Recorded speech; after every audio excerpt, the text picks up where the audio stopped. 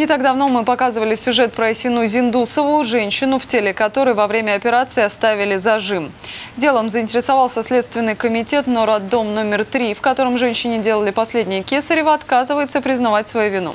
Всего Исине проводили три операции. Медучреждение Уфы считает, что эту ошибку могла допустить любая из двух предыдущих больниц.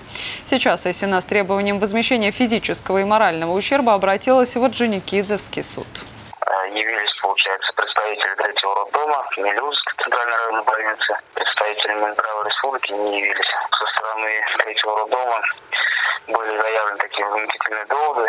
Пытались они значит, э, обвинить в Милюзской центральной больнице в том, что при операции в 1997 году или в 2008 году были отправлены эти цензуры. В 1997 году могу сказать, что Зендусов было 10 лет наверное, насколько возмутительно это, значит, эти доводы, то, что 10 лет оставили зажим, после этого человек два раза, значит, рожал ребенка. При том расположении зажима, который э, уже, э, значит, Зиндусова, она бы однозначно не смогла бы родить ребенка. На сегодняшний день мы подали ходатайство о проведении повторной экспертизы уже в другом регионе, поскольку экспертиза проводилась в республике Подчинении нашего ответчика.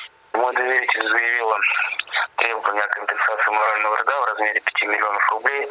Следующее заседание также подготовительно назначено на 25 мая 2016 года. На заседание было отложено в связи с тем, что э, заявили об участии, о привлечении в качестве третьих лиц двух врачей, которые принимали роды в 2012 году.